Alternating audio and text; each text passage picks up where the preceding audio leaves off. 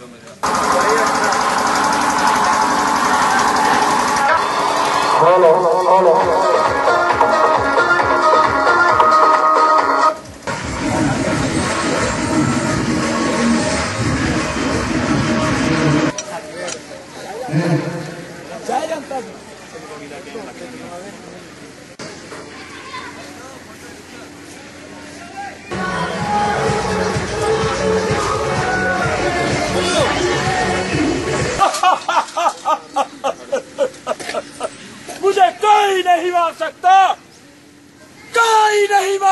मुझे कोई नहीं मार सकता। शीशों को पूजा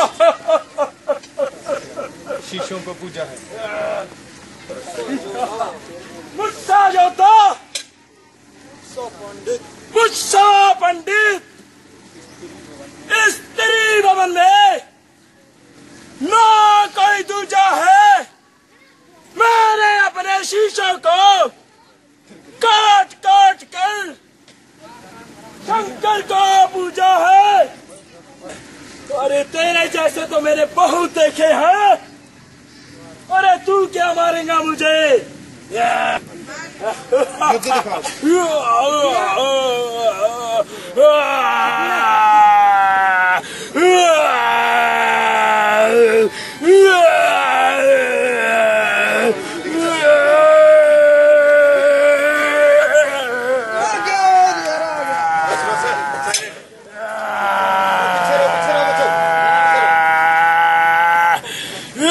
इसका जो प्रदूषण होता है, इसको जलाने से जान माल का नुकसान होता है।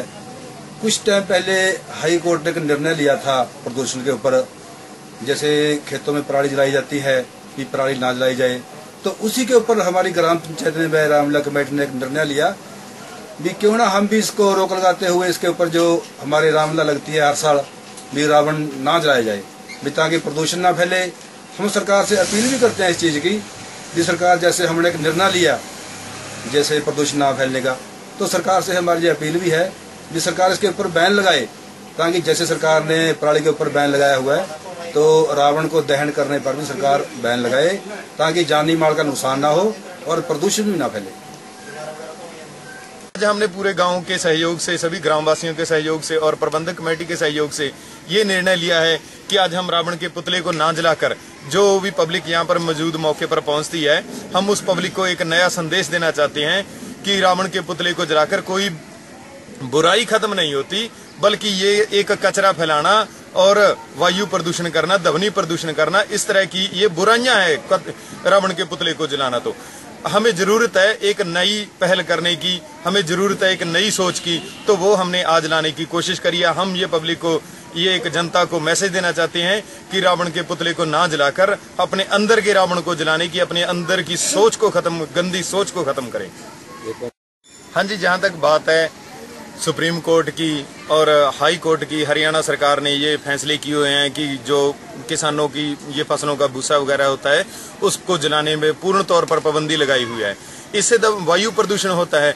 और दूसरी तरफ़ आज ये खबरों में आ रहा है, हर जगह पे न्यूज़ में मिल रहा मिल रहा है कि हरियाणा के माननीय मुख्यमंत्री मनोहर लाल खट्टर जी आज आ रावण के पुतले को अंतिम अग्नि देंगे। इससे भी एक ध्वनि प्रदूषण होगा, वायु प्रदूषण होगा तो हमें ज़रूरत है कि जिस तरह से हम ये पराली का भूसा जलाते हैं, उसको, उस पर रोक लगा दी तो इस पर भी हरियाणा सरकार को भी ऐसा एक्ट बनाना चाहिए, ऐसा कानून लाना चाहिए कि रावण के पुतले को ना जलाया जाए। इससे बहुत ही वायु प्रदूषण होता है। हर जगह, हर गाँव, हर शहर, हर गली मोहल्ले में रामलीला लगती है। हर जगह पर रामलीला में ये दशहरे के दिन रावण के पुतले को जलाया जाता है। उससे बहुत ही अत्यंत मात्रा में जो कि वायु प्रदूषण होता है, ठीक उसी तरह, जिस तरह पराली के भूसे को जलाने से होता है।